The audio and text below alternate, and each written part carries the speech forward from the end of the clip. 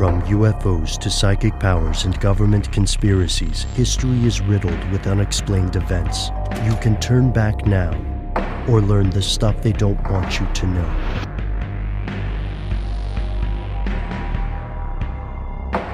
Here are the facts Facebook is enormous. As of 2012, there are more than 800 million members. Each day, millions of people log in for an average of 20 minutes to share their thoughts, locations, and more. More than 1 million websites have Facebook integration and offer the ability to use your Facebook ID on their own sites. Whether you're a Facebook fan or try to avoid it completely, there's no denying this website is a runaway success. But for whom? Its most public face is founder Mark Zuckerberg, but some conspiracy theorists believe Facebook has another master the US government. Here's where it gets crazy. The conspiracy claim is this that Facebook is either a front for or in cahoots with DARPA, the NSA, or the CIA, and that they use this site to obsessively monitor the online activity of Facebook members. So, why do people believe the story?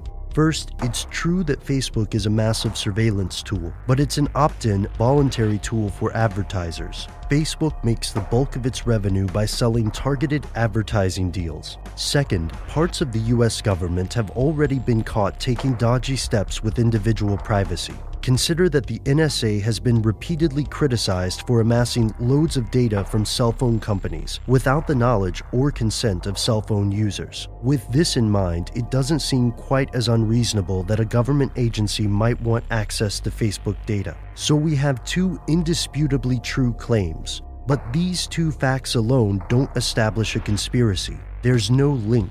For theorists, that connection is found in the story of investors Peter Thiel and James Breyer. Both men invested when Facebook was in its infancy.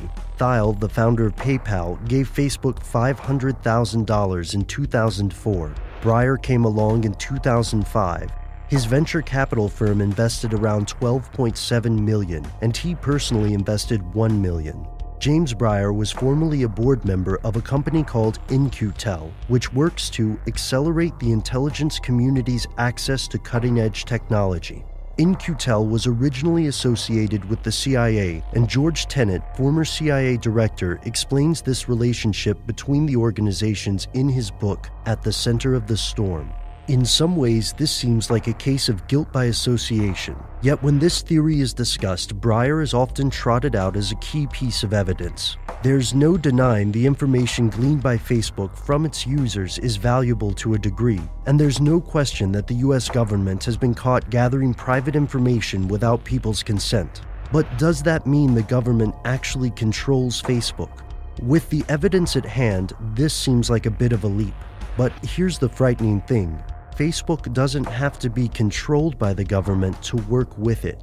The US government has made increasingly frequent demands for information from ISPs, telecom companies, social media sites, and other online entities. Facebook is no different, and the information generated by Facebook users is its primary source of profit. Facebook has every motivation to increase the amount of information created, and they haven't wasted any time.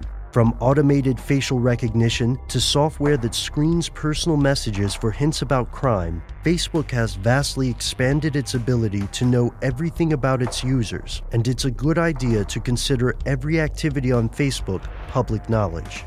Whether Facebook works for the government or simply sells your personal information, the questions remain. What are they doing with your data? Who's buying it? How is it being used to affect you? For now, that's the stuff they don't want you to know.